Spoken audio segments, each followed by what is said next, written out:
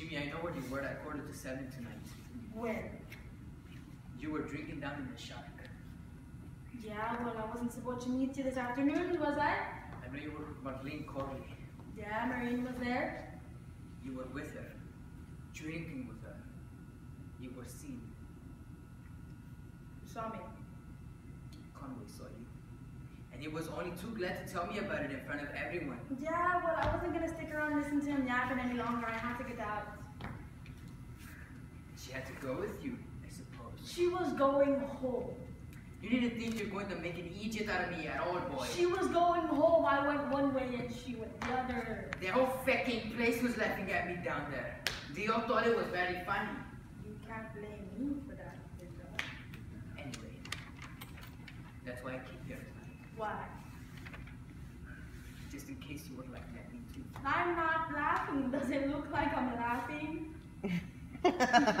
Well, you might take me for a fool, and I'm not. I know who you were with and what you were up to, okay? So the best thing you can do now is stay away from me in the future. Hang on, Linda. Hang on. There's no hanging on, Jimmy. Every time we had a date, you was either drunk or late, else you didn't even That bother to turn up at all. one time, Linda. I didn't even turn up the last time. Look, I don't care. I'm sick of you. I get nothing, only hassle over you anyway. From who? From ma and me dad, from the girls at work.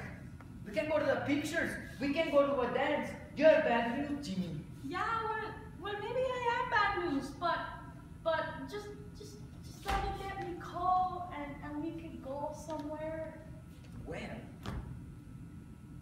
to the park, somewhere. Oh, walk. Linda, listen.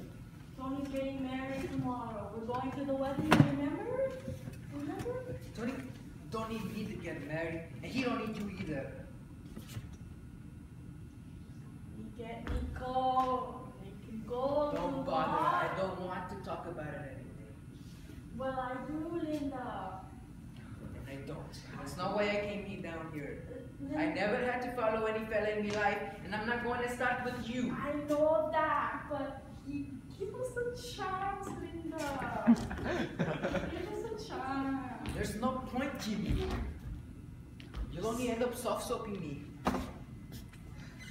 Go back to your game, will you, before Tony has a heart attack there. Nice.